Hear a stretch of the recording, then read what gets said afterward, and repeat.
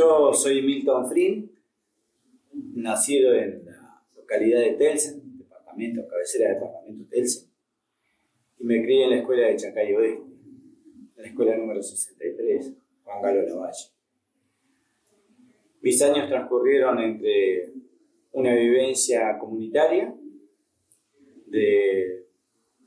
pueblos originarios, religiosidades católicas a través de los curas, y la escuela que era el punto y centro de atención eh, y de punto de encuentro, dado que los maestros que venían como los maestros golondrinas o los maestros de las escuelas rurales tenían una impronta muy personal, eh, muy unipersonal, digamos, porque en realidad ellos hacían la docencia durante el horario que correspondía y después la convivencia era de todo el día, entonces como que nosotros los alumnos eh, bebimos de todas sus historias, de sus creencias, de sus vivencias y también tuvimos el privilegio enorme, como en este caso de haberme criado allí en ese lugar, de tener fehacientemente una convivencia con los pueblos originarios, de la cual este, pude observar y entender a estos tiempos, que es parte de la paisanada o el paisanaje o la mezcla de, razas que me llevaron a, a entender mi, mi, manera de ver y pensar sobre la cultura, el arte y la comunidad. y estar un poco alerta, cuidando que los chicos no vayan a romperla. Eh, vaya también mi sincero agradecimiento y reconocimiento por valorar las cosas de los demás. Creo que es una de las cosas que me faltaba para completar mi comienzo en una etapa nueva de cultura. Hablado desde la escultura y hablado desde lo que vamos sintiendo nosotros como padres, como habitantes de este suelo que por ahí no tenemos la posibilidad de ingresar en internet o a, o a un sistema computarizado que nos pudiéramos comunicar rápido con otros sectores o con otras personas en otros puntos del país o del mundo, pero que sí a poco vamos a ir ganándole a esa incomunicación a través de estas obras. Por eso aquellos que, que crean que solo se debe llegar con una invitación protocolada, con una nota, no lo creen así. Acérquense por estos barrios, vengan,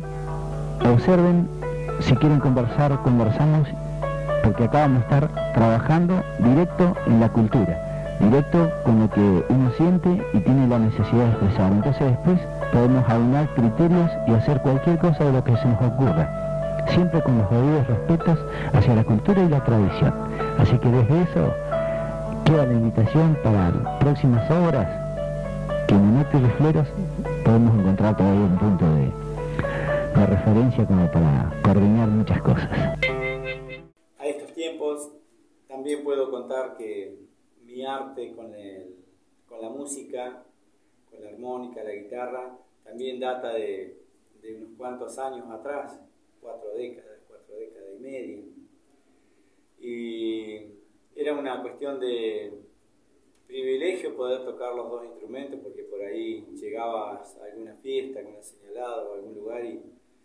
y estas rancheras o balsecitos o fostros o tangos o chamamé, lo que cuadrara para la ocasión este, era la posibilidad de amenizar y disfrutar de esas fiestas con, un ritmo eh, muy particular. Eh, en el año 81 pude recién hacer mi establecimiento eh, más este, conocido a través de los encuentros sureños de folclore acá en la ciudad de Trelew, donde salí revelación en aquel tiempo, un reconocimiento muy importante para un muchachito que todavía con 17 años pintaba una carrera que, bueno, era incierta, pero creo que con los años entendí que era muy positiva. Y lo que tiene que ver con la escultura es exactamente lo mismo. Eh, comienza un poco por genes, porque mi familia todos fueron picapedreros. Entonces, este, eh, un poco el símbolo de, la, de construir con piedras, con tanques, eh, para sostener el agua entre piedras y arcillas, y, o levantar casas hacer este, techos de barro y paja y que realmente toda esa enseñanza de, de mi vida desde joven y desde muchachito con, con, esta gente de los pueblos originarios también me dio esa, ese capital, capital hermoso que es eh, arreglártela como puedas en un lugar donde no había nada. Entonces creo que allí aparece la imagen de los artistas que van armando su carril de, de ilusiones y sueños, pero bueno, las concreciones no llegan de un día para otro, sino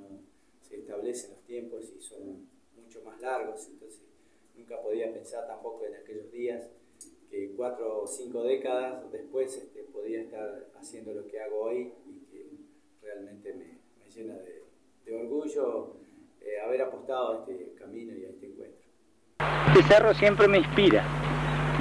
pero no me inspira plata, no me inspira proyecto de, de locura, solamente me inspira a que vuelva a ser yo mismo, aquel que agarra el hacha,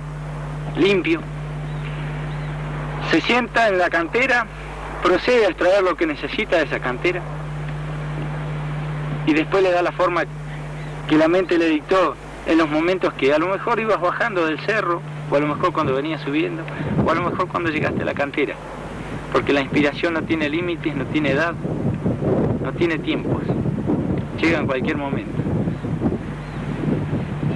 Y eso es tan lindo como que la mujer da a luz un bebé y que ese bebé crece, se cría, se desarrolla.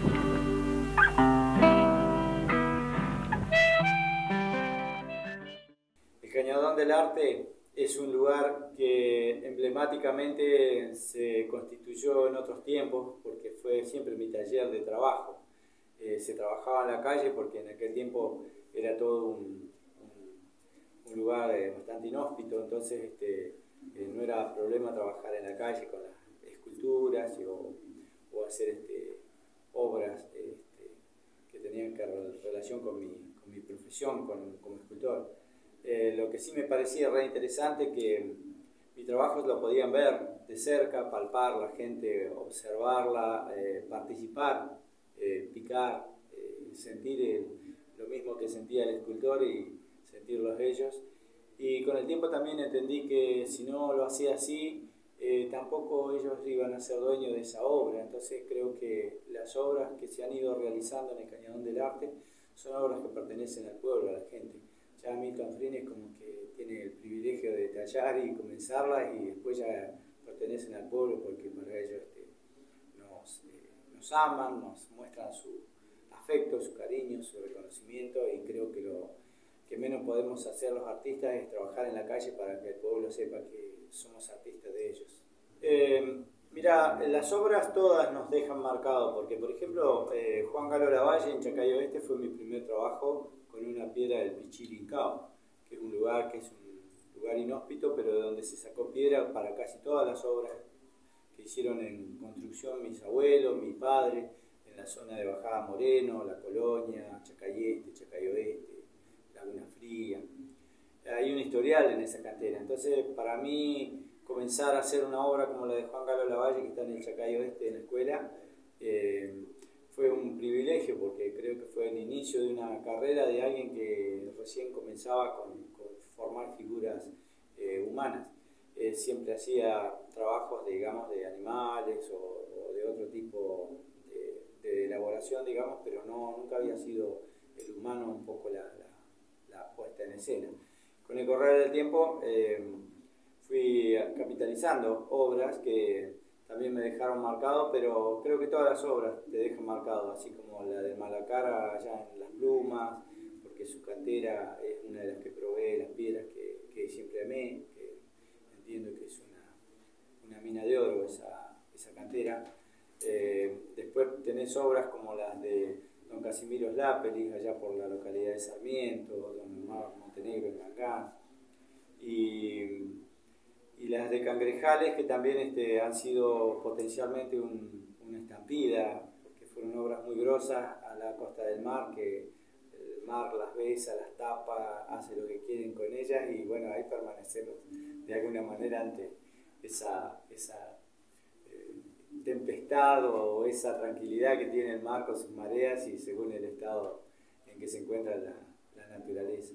Lo mismo la de La Hermanita Perdida, que para mí Atahualpa Yupanqui, un gran músico, poeta, eh, sus canciones, sus escrituras y La Hermanita Perdida a través de esa obra musical, eh, también para mí era un privilegio que a través de la Peña de Perla Galarza, allí en Cosquín, pudiéramos hacer la obra de, de La Hermanita Perdida, versión escultura, que salió desde acá de Trelew, desde la laguna de los Altos de la laguna Chiquichano, el rebo de pueblos originarios, y llegase a Cosquín y está al lado del escenario mayor de Cosquín. Creo que son obras que trascienden y que, bueno, la de pueblos originarios, por supuesto, es, es una piedra latente, es una imagen que recorre el mundo y a su vez también para, para mí un privilegio de poder trabajar y poder rodearme con la gente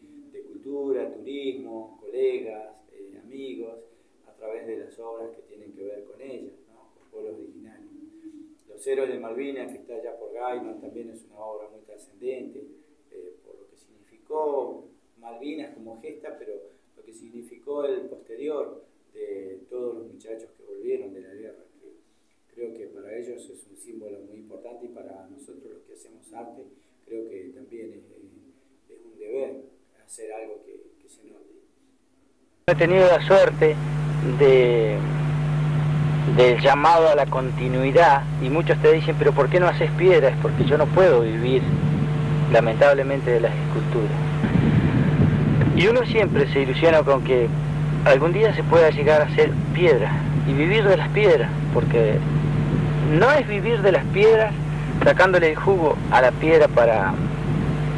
para negociarla, sino es dejar impreso tu trabajo en la piedra y que la piedra sea el complemento a, a que, bueno, tu pensamiento dejó eso grabado y alguien te lo adquirió. Entonces como que ahí sí estaría en condiciones de decir, bueno, me puedo dar el gusto, el privilegio tan soñado de vivir haciendo piedra. Siempre van a tener en la imagen del Cañadón del Arte un lugar que es amplio, que podemos compartirlo totalmente. También tengan en cuenta que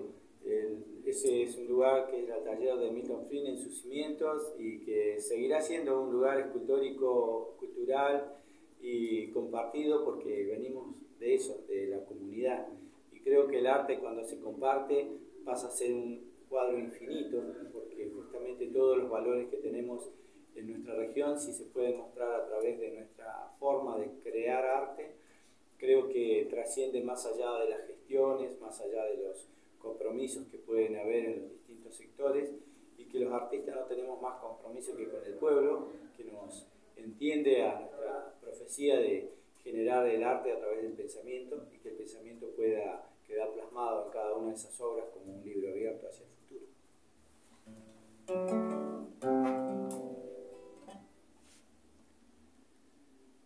canción va a ser destinada a los maestros de las escuelas rurales, una letra que escribí hace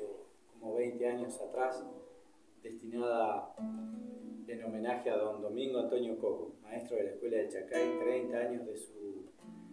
permanencia allí en el Chacay y él procedente de la provincia de Buenos Aires, de la localidad de Lincoln, así que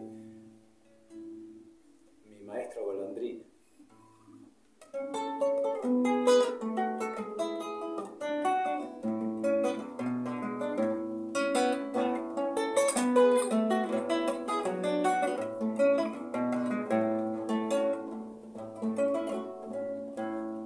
Lápiz con que usted me enseñara para que usarlo. Y le dirijo un recado humilde como sus años de mi rancho. Al desengaño quedó en la tierra sentada. No podrá borrarlo nada tan prendida como el moho. Fue el alivio a la ignorancia la vieja escuela de co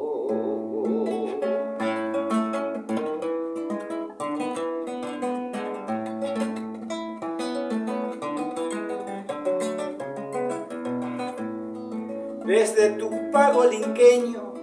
hasta el chacay que te amó. Y andando en mi tiempo yo te considero sureño. Por tu razón, por tu empeño, la virtud, tu disciplina, sos pionero en la Argentina, al frente del pizarrón, gratitud de corazón, mi maestro golondrín.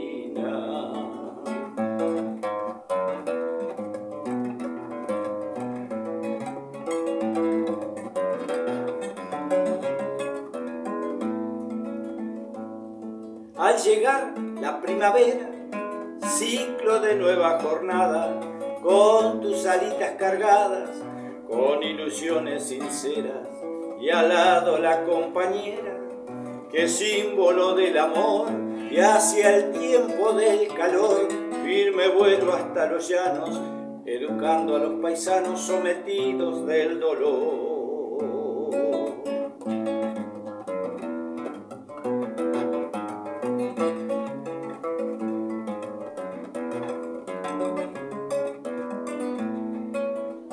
Años han pasado,